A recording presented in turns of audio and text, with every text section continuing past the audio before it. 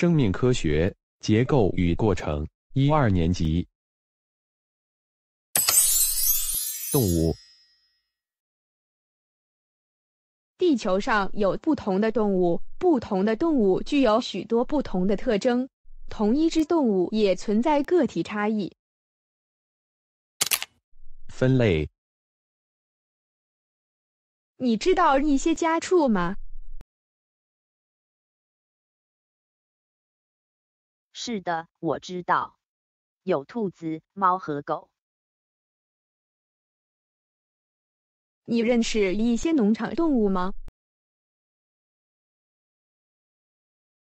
是的，我知道，有牛、羊和马。有些动物有四条腿，有些有两条腿，有些没有。整理。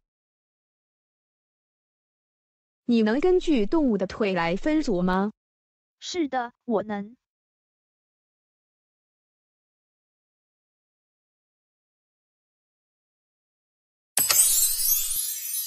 植物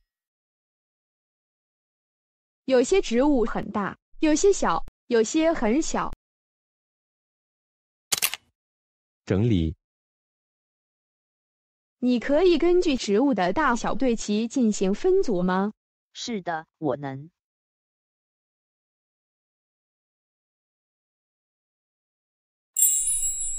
昆虫有些昆虫对人有益。有些昆虫是有害的。全部，有些。所有的昆虫有害吗？不，只有其中一些。鱼类，大多数鱼都有可呼吸的鳃，但肺鱼没有。全部，有些。所有的鱼都用鳃呼吸吗？不。肺鱼不是动物婴儿和父母，在许多动物中，父母和后代本身都会采取有助于后代生存的行为。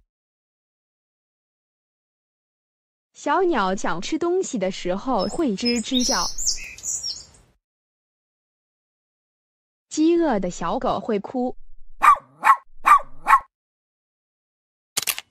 识别，这些是什么动物？它们是小鸟。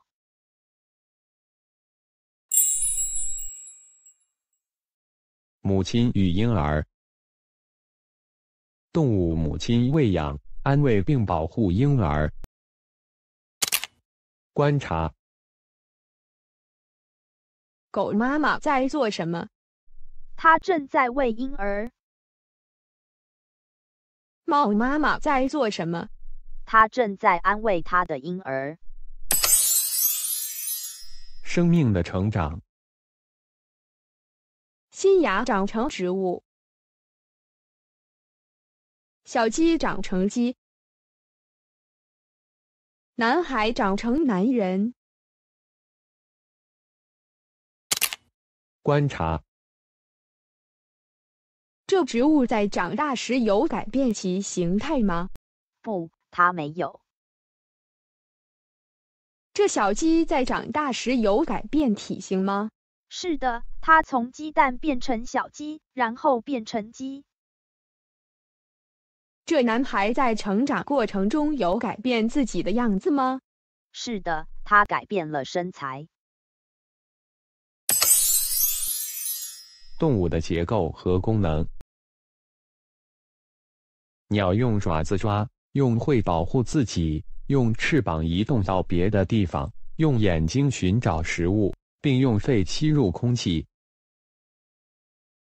乌龟用爪子抓，用龟壳保护自己，用爪子移动到地方，用眼睛寻找食物，并用肺吸入空气。浣熊用爪子抓紧并保护自己，用脚移动到地方。用眼睛和鼻子寻找食物，并用肺吸入空气。鱼用嘴抓咬，用牙齿保护自己，用其移动到别的地方，用眼睛寻找食物，并用鳃吸入空气。组织这些动物如何移动到别的地方？鸟用翅膀，乌龟用鳍，浣熊用脚，鱼用鳍。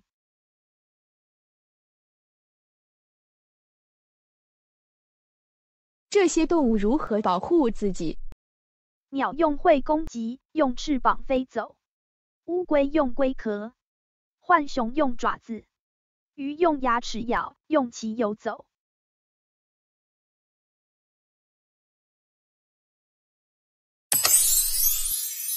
动物的资讯处理，